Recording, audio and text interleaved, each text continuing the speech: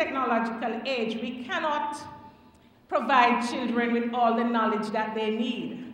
But the best we can do is equip them with the skills with which to do the research and to learn independently at their own pace or collaboratively with their peers in order to make themselves ready for the world. Today is a very special day.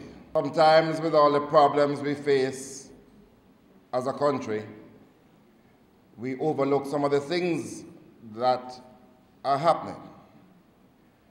And so the term not now gone is a very familiar term. But today, something are going on at Cambridge High School. We want our people to have full access to technology because it is through technology that we're seeing developments all across the world. It is still very expensive for the ordinary Jamaican to have access to the internet. And so in all our public spaces, and we have created over 200 community access points across Jamaica, we have enabled our libraries and our post offices. And now in all our schools eventually, every single school eventually, members of the community will be able, if they can't afford it by other means, to come on campus in an orderly way, in a disciplined way, to utilize the technology because we believe that it must be available to everybody.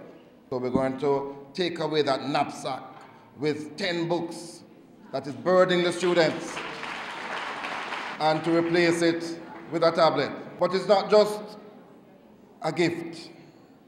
It is not just for you to play with.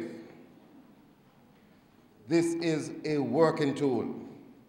This is a device that will enable better performance of our students. Boys and girls, take good care of what you will be given today. And I will appeal to the parents to also get involved to understand because there's no better way to advance our people other than through education. The teachers have been trained and they know that there is a Kingsoft software that can be used to send you letters. It can be used to send homework to the students. The students can send back their assignments. All of that can be done on the tablet. If we intend to make Jamaica the place to live, work, do business, and raise our families by 2030. We have to set the foundation right. And part of that foundation has to do with our ability to master information technology. Because in the 21st century, if you are not highly skilled and knowledgeable, you will not be able to play your role to advance the growth agenda of your country and indeed to keep up with the rest of the world. I want to take this opportunity to appeal to all of you, parents, students, that you take care of these tablets. They are for the furtherance of your education. I encourage you to use them wisely.